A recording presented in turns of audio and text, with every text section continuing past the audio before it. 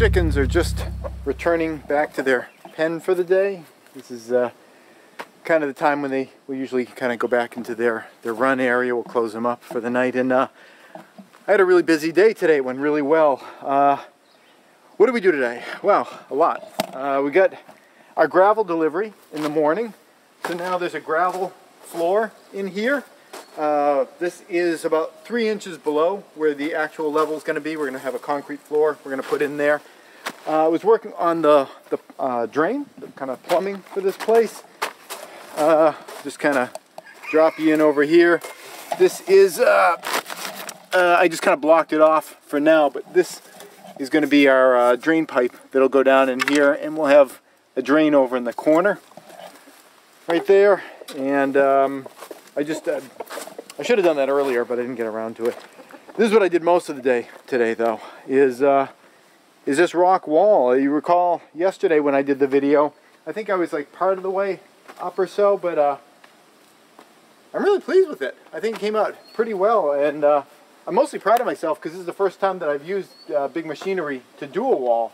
Normally in the past, uh, you know, I would just do it with, uh, you know, levers and and shovels to kind of wedge things, and you know I'd be lifting and rolling, uh, rolling boulders. But I'm I'm pretty I'm pretty pleased with it. We got some nice big rocks mixed in with small rocks.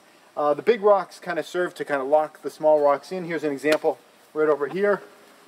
There's this small rock here. This is indicative of uh, a rock that I might have used if I was doing the whole thing just by, uh, by hand because I can kind of move this rock around on my own.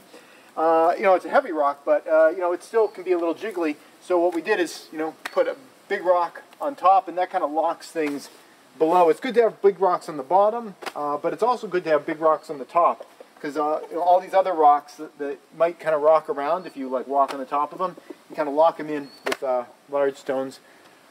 From the top, I'm feeling awfully good about it. Uh, I left a little gap over here. This stone here, it's got kind of a triangular shape it's going to wedge right into that area. The reason I left that off is because I, I got to do the stucco work over here, and I'll explain why I haven't done the stucco work yet. Is uh, I've got one one piece of sill plate left here. Uh, I cut it accidentally at 17 inches, forgetting that I needed the extra inch and a half to overhang uh, this piece right over here. I needed it 18 and a half inches, and I, I well, I cut it at 17. Uh, I, uh, I asked my dad if he might have any scrap kicking around his place. He has a, he has a 20 inch piece of pressure treated that, uh, that will fit in there perfectly, but he's like an hour and 45 minutes away. So, you know, we're waiting until we, we see each other naturally for some other reason, and we're, he's going to give me his little piece and I'll put it in there. But I need that in there in order to finish out the foam and attach the foam to it and everything. And the stucco, uh, not the stucco, the lath for the stucco work is going to go up those sides. And uh, uh, where the stucco, uh, where, or I'm sorry, where the metal mesh comes up, I'm going to use screws to connect it right into the uh, the wood there. So I, I want to have the wood there before I put the mesh on, and the mesh is there before I put the stucco on, and the stucco is there before I put in the last of the dirt and everything. Incidentally, when I do put this in, I'm not going to put it right up against uh, the uh, the concrete stucco work that I have over here.